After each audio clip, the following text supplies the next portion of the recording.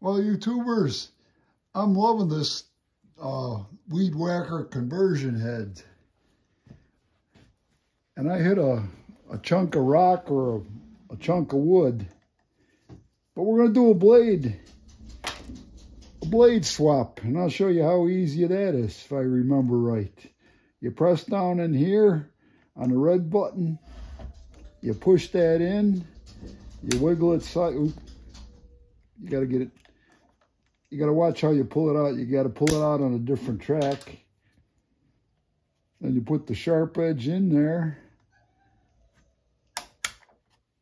That's a hell of a lot easier than changing a string. And I knew once I broke this blade, it kind of was unbalanced and wobbled all over. But I'm going to give this a good workout in, in, in some weeds and flower beds the next day or two. God bless you.